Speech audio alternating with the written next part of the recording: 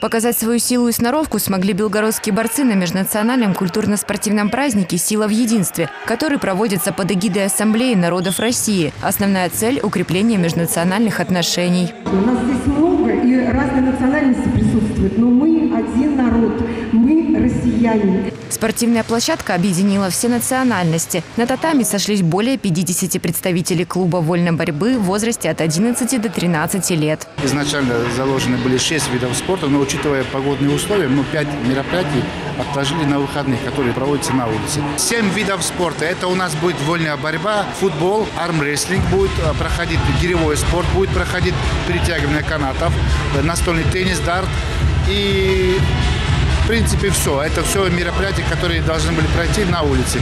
Соответственно, они будут проходить в субботу. Вольная борьба – один из самых зрелищных и захватывающих видов спорта. Борцы применяют броски, захваты, накаты, а главная цель каждого спортсмена-вольника – уложить соперника на лопатки.